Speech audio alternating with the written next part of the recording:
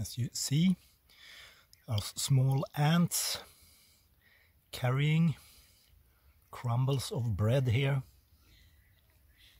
And it's Anna Maria from Romania who has fed them.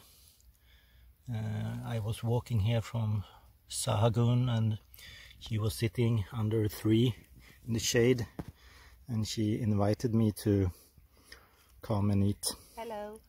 And yeah, I've been eating some tomatoes and olives and bread, so it was really nice to take a break here in the shadow. And it's about 11 kilometers to next town, so that will take about two and a half hours to walk. And it's quite warm and not so many clouds in the sky. Okay, bye.